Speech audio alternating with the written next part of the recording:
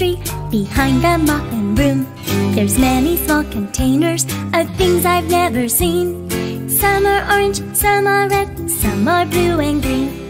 Bottles, boxes, jars, and cans, I find them everywhere.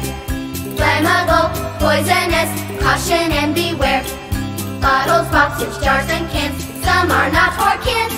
So learn the signs of danger. And don't remove the lids.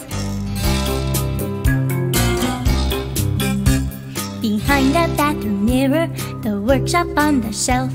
I know what I should never touch when I'm by myself. Medicines and chemicals, paints and cleaners too. I know what things are dangerous. How about you? Bottles, boxes, jars, and cans, I find them everywhere. Flammable, poisonous, caution and beware.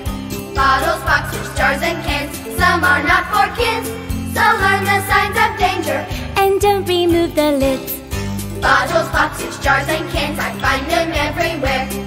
Flammable, poisonous, caution and beware.